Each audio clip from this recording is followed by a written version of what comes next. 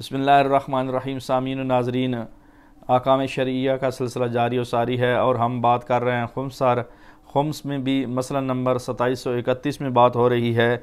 उसका मतन कुछ यूँ है कि अगर कोई शख्स शिया इसनाशरी मुसलमान कोई ऐसा माल ख़रीदे जिसका शख्स, जिसका खुम्स ना दिया गया हो तो उसका खुम्स बेचने वाले की ज़िम्मेदारी है और ख़रीदार के ज़िम्मे कुछ भी नहीं है। तो ये पहला जो मसला हम पेश कर चुके हैं पिछले दर्स में, पिछले बयान में उसके बिल्कुल बरअक्स मसला बयान किया जा रहा है।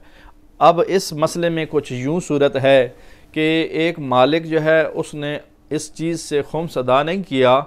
मसलन ये किताब है, इस किताब से मैंने खुम्स अदा नहीं किया और मैं बेच देता हूँ किसी और को।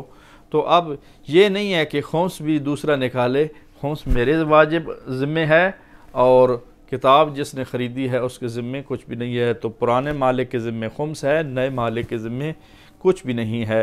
इन इस किस्म के मसाइल हम डिस्कस करते रहेंगे। आप हमारी वीडियो देखते रहिए।